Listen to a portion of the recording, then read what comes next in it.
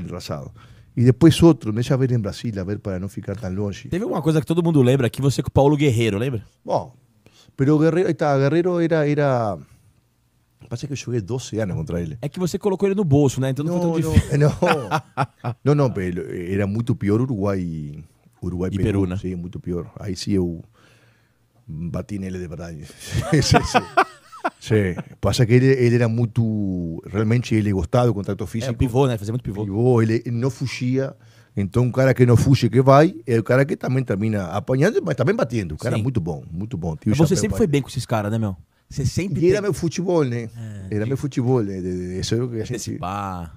E ficar aí, saber o limite de até onde ir na força, até onde não. Eh, sim, mas Guerreiro não era folgado, não, não era de falar muito. Ah, não, Era- achei que não- fosse. Era mais de fazer gesticulações, mas Ah. Para ver outro mais, não sei. Hum, Bueno, quem? Hum, bueno, Quem? A ver, pan.